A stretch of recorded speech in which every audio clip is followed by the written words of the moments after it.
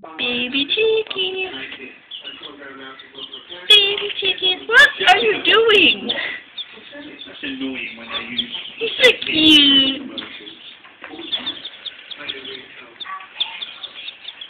Come here. You want a fudge ball?